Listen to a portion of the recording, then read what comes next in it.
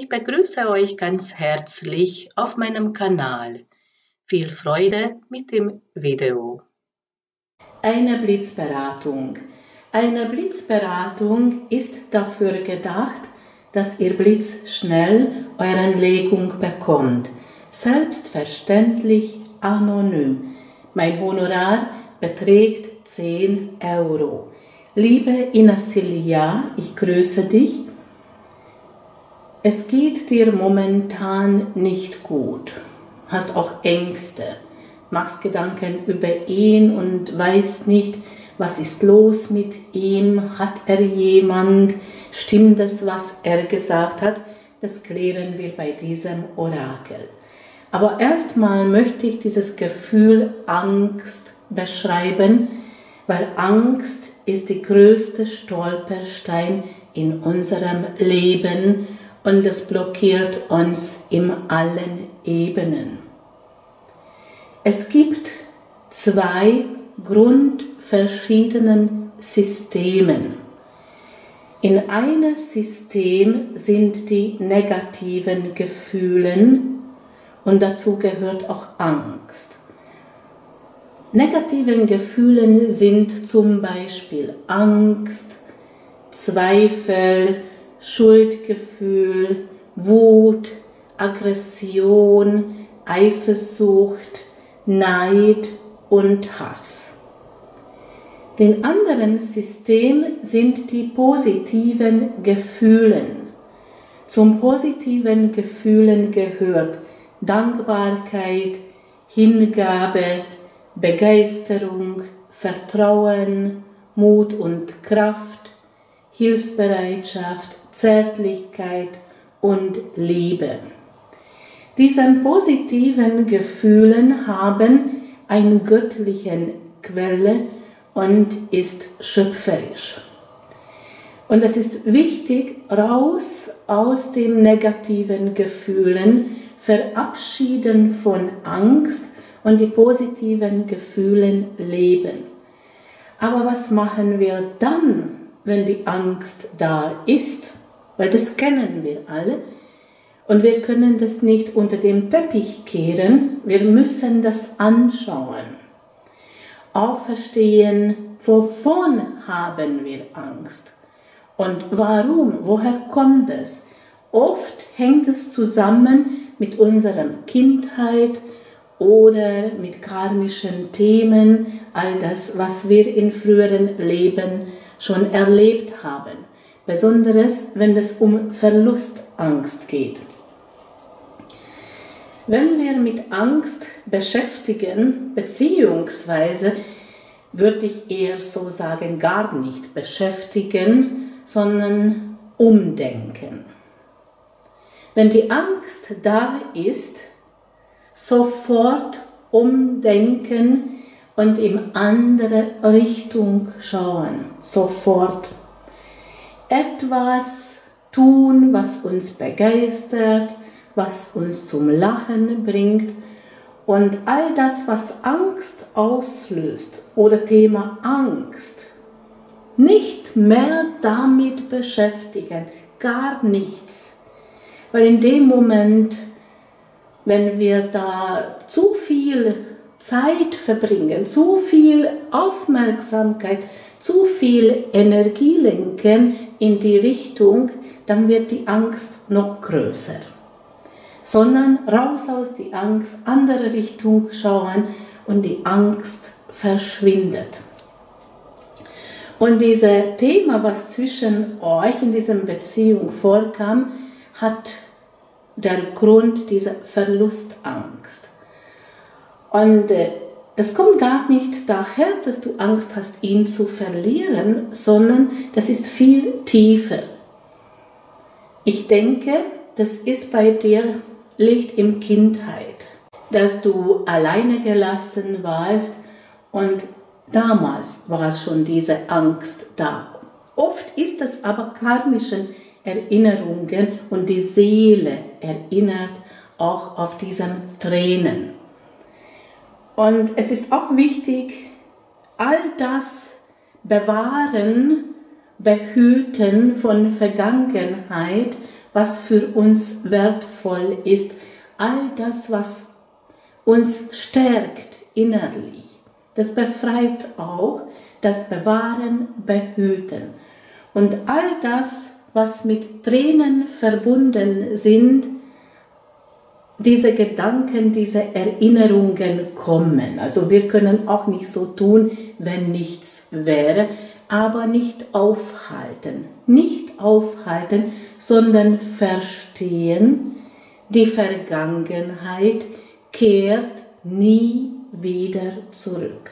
Nie wieder. Es ist nur ein Gedanke. Mehr ist das nicht aber mit Gefühlen verbunden. Und lieber an solche Bilder denken, das pflegen, was schön ist und das befestigen. Die Angst wird immer weniger. Und jetzt schauen wir diese Legung an. Diese Karten sind deine Karten. Hier steht auch sie. Und hier sind seine Karten. Hier steht auch er. Dein Gegenwart zeigt diese drei Bilder. Du brauchst Sicherheit, Stabilität und Struktur.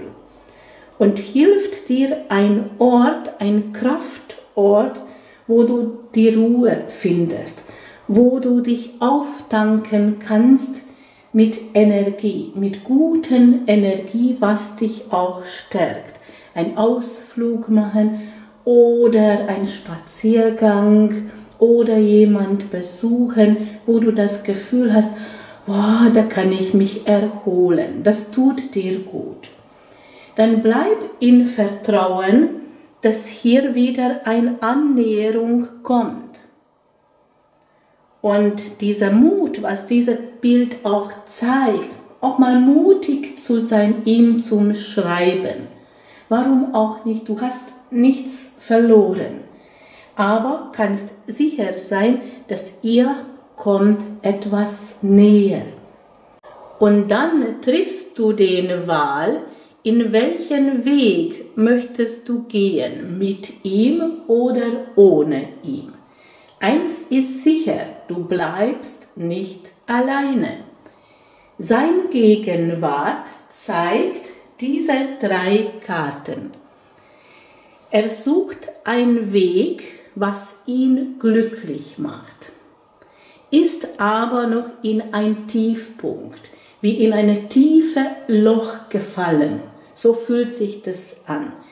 Die Zahl 10 bedeutet aber, dass er möchte da raus und er wünscht sich einen Neuanfang, eine neue Periode in sein Leben. Und diese Unabhängigkeit zeigt, er hat niemand, er hat niemand kennengelernt. Sonst würde hier ein Hinweis sein, dass er eine andere Frau hat, dass er eine Beziehung lebt. Worüber sollst du Gedanken machen? Was kommt als nächstes, absehbare Zeit, was passiert? Das zeigt diese drei Karten oben. Das ist hier ein Zauber. Natürlich ist es nicht möglich, ihn herzaubern, aber unseren Gedanken und unseren Gefühlen haben Kraft. Und das ist diese Magie. Und das kannst du so vorstellen. Wir Menschen haben ein Energiefeld, was uns umhüllt. Und dieses Energiefeld kommt von unserem Inneren. Und das besteht aus Denken und besteht aus Fühlen. Und das ändert sich. Je unserem Gedanken und unserer Stimmung ändert sich auch ständig. Wenn uns etwas bedrückt, und machen viel Gedanken über Probleme und haben auch Ängste. Dann ist diese Energiefeld grau und hat überhaupt keine Ausstrahlung, sondern das ist eng, hält uns regelrecht im Engen. Wenn wir unseren Gedanken ändern, positiv denken und verabschieden wir von Ängsten oder Zweifel oder Schuldgefühl und sind wir in positiven Gefühlen wie Begeisterung und Liebe und Vertrauen, dann dehnt sich die ganze Energiefeld aus, bekommt eine goldene Farbe und dieses Energiefeld hat eine wichtige Funktion. Das ist unsere Anziehungskraft. Und es gibt ein wichtiges Gesetz, einer der wichtigsten hermetischen Gesetze, und dieses Gesetz besagt, Gleiche zieht Gleiche an. Das heißt, wenn du über Probleme nachdenkst, dann die Probleme werden nicht weniger, sondern noch mehr. Wenn du Ängste hast, dann siehst du Situationen an, was Angst auslöst. Wenn du Verlustangst hast, dann geht etwas verloren. Das kann sogar Geld sein. Das passiert immer das, worüber du denkst und wie deine Gefühle sind. Dieser Zauber zeigt, achte auf dein Energiefeld, dann dreht sich alles, dann dreht sich alles auf deine Richtung. Bleib im Vertrauen und stell es vor, er liebt dich, er ist unabhängig, das zeigt hier dieses Bild, er hat niemand und er antwortet dir oder schreibt von alleine und ihr kommt wieder zusammen, weil ihr liebt euch. Und diesen Gedanken, Gefühlen, dieser Vertrauen befreit dich auch. Und das ist die Heilung. Und diese Karte zeigt diesen Heilprozess. Und was passiert? Das zeigt dieses Bild. Das ist Vereinigung, ein Zusammenkommen und das Herz zeigt die Liebe. Worüber macht er Gedanken? Das zeigt hier diese drei Karten. Mondlandschaft. Mond bedeutet Empfängnis. Also er wartet darauf, dass etwas kommt. Er ist nicht aktiv, sondern er hat Erwartungen. Er möchte das empfangen. Mond symbolisiert auch die Träume und Sehnsüchte. Es ist sogar möglich, dass er über dich träumt. Und die Träume sind die Sprache der Seele. Ich möchte nicht behaupten, dass jeder einzelne Traum so ist, weil im Tiefschlaf verarbeitet unserem Gehirn die täglichen Eindrücke. Diese Träume haben keine Bedeutung. Aber wenn wir eine ganze Geschichte träumen und es ist lebendig und bleibt in Erinnerung, dann kannst du sicher sein, das war die Sprache der Seele. Natürlich symbolisch, aber die Traumdeutung versteht das. Ich deute sehr gut die Träume und diesbezüglich kann ich weiterhelfen. Das ist sogar auch möglich, dass du erscheinst in seinen Träumen oder in seinen Tagesträumen. Und tatsächlich zeigt es auch in diese Richtung, er lebt seine Träume. Das ist ein Hinweis, dass du bist seine Traumfrau. Du erfüllst seine Träume und ihr seid auch in die gleiche Wellenlänge. Was liegt im Verborgenen? All das, was später kommt oder etwas, was man gerne verdrängt. Bei dir liegt im Verborgenen das, was hier diese drei Karten symbolisiert. Diese Ungewissheit, das, was dich kränkt. Aber diese Zahl 7 steht in Verbindung zum Mondkraft. Du empfängst die Liebe und du wirst deine Träume leben. Du sollst in diesem Vertrauen kommen, weil das ist für dich die Heilung. Dann kommst raus von diesem dunklen Wald, was die Angst symbolisiert. Und dieser Kobold schenkt dir dieses Glück und das ist die Heilung und du wirst von deinen Ängsten dich befreien. Was liegt bei ihm im Verborgenen? Das zeigt hier diese drei Karten. Dieses Sumpfgebiet zeigt seinen Gefühlen. Er hat auch Ängste. Genau das ist dieser Boden. Und mit diesem Gewicht hier, dieser Elefant, das ist schwer. Er verspürt diese Schwer. Es geht nichts voran, alles ist so schwer und er hat auch Ängste. Aber hier erscheint auch die Mond und dieser Vogel, was die Befreiung ist und zeigt die Leichtigkeit raus aus dieser Tiefe, raus aus die Angst und die Träume leben. Und genau das zeigt seine Seele und er hört zu. Seine Seele, seine inneren Stimme flüstert ihm das. Nicht nur die inneren Stimme, sondern die Seelensprache bildhaft, die Träume. Und er wird es auch entdecken, er wird das wahrnehmen und intuitiv handeln. Und das ist diese Funke. Und er wird auch von seinen Ängsten verabschieden. Was verbindet euch? Das zeigt diesem goldenen Palast. Das hat eine symbolische Bedeutung. Das sind unsere Träume, Wünsche, unsere Visionen. Das kommt zum Erfüllung. Genau wie du das vorstellst und wie er das vorstellt.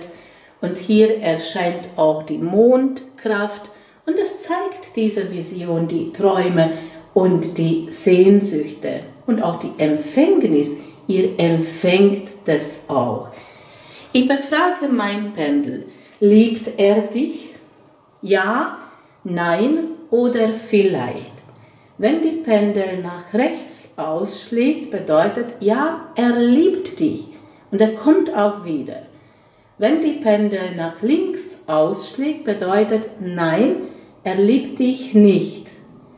Wenn die Pendel stehen bleibt, bedeutet, wir sollen diese Frage noch nicht stellen oder ist alles noch ungewiss?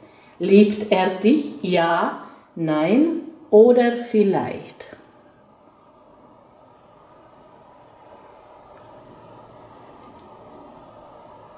Erstmal ist es ungewiss, dann langsam, langsam bewegt sich in eine Richtung und eröffnet sich und zeigt seine Interesse und Gefühle. Warum? Weil er dich liebt. Dieser Stillstand am Anfang kann bedeuten, dass er verdrängt seinen Gefühlen und das ist genau der Zustand, diese Schwere, dieser Elefant in diesem Boden, was instabil ist. Das ist ein Sumpfgebiet und es kommt von seinen Ängsten. Liebe Inasilia, so könnte ich deine Frage beantworten. Ich bedanke mich für deine Treue, ich bedanke mich für dein Anvertrauen und auch für diesen Auftrag. Ich wünsche dir alles Gute und alles Liebe. Und das war diese Aufnahme. Wenn es euch gefallen hat, ich freue mich, wenn ihr mich abonniert. Bis zum nächsten Mal, eure Dendera Susanna Medici